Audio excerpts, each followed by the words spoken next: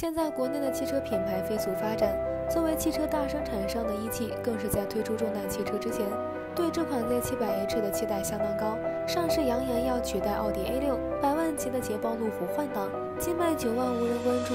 可买 Z700H 究竟是因为何种因素，让众泰的 Z700H 有这么大的反差？首先就要说一下车内的结构设计。Z700H 作为 B 级车，后排空间是车主在选购这类汽车的时候一个比较重要的因素。就这一点来看，其实 Z700H 的轴距达到三米也算是不错的。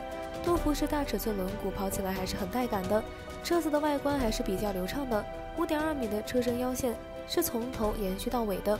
汽车的内饰采用的是奥迪与捷豹的结合，传说中的百万配置在全液晶仪表盘、旋钮式换挡与悬浮式的中控屏这三个配件得到了体现。在汽车的尾部，Z700H 采用的是当下比较流行的底部双边两出排气，后车尾箱采用的是微上翘的扰流设计。在外观上和性能上，Z700H 是不逊色于奥迪 A6 的。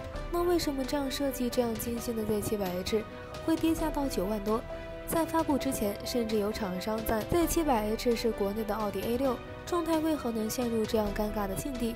这和汽车厂家的口碑是有很大关系的。有一个比较痛心的事实，就是国外的汽车的声誉要比国内的汽车好，有些汽车技术也确实是比国内的现有技术要好。虽然国内的汽车在技术上已经有很大进步，但是大众这类品牌的汽车，在很多人印象里都是比较低端的地位。所以大众要想改变这样的现状，还是有很长一段路要走的。首先要拿得出手的还是技术。